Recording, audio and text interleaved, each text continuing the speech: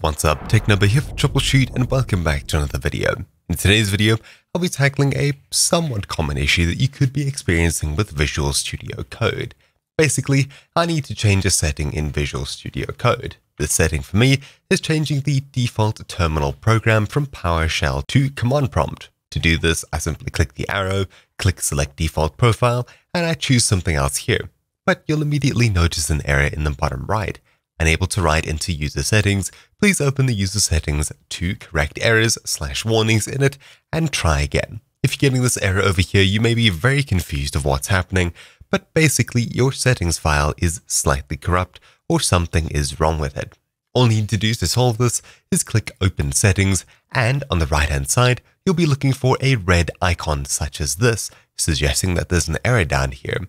Scrolling down to it, Somewhere around the center of your screen, when you're roughly centered on this icon, you'll see something in red like this.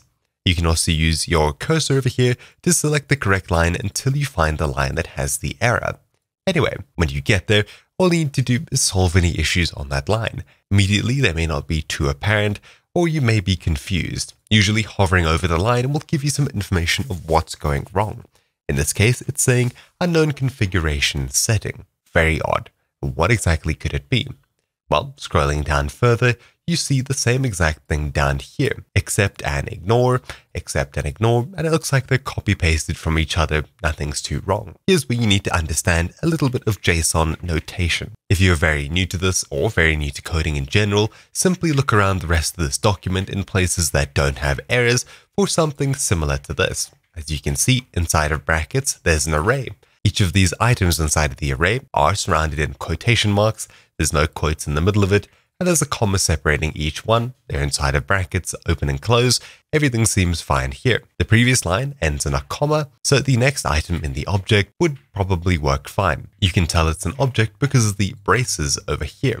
Everything looks fine in here, but of course you could be missing something very small.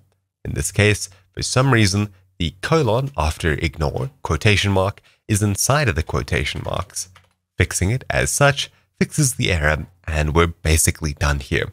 Now, of course, the error may not be too apparent to begin with, but of course, if you understand what's happening inside of the JSON document, which hopefully you do, then you'll be able to fix this issue. I didn't create this issue, I'm not sure what program did, but it stopped me changing any settings in Visual Studio Code until I was able to manually fix it. If you see something like this with a bunch of yellow lines underneath it, saying something about incorrect type, usually these can be ignored and they're not the cause of the issue. You're only really looking for ones in red. Now, if I were to go back to here and select my default profile once again, you'll see that things just work properly the next time I open it up. I'll open up the terminal and there we go, command prompt. My settings have been saved and things are fixed. Hopefully your issue will be a bit more apparent than mine was, as this tiny little change did confuse me for quite some time as I didn't see it immediately. Anyways, that's about it for this video. Thank you for watching, name's been taken over here for TroubleChute, and I'll see you all next time. Ciao!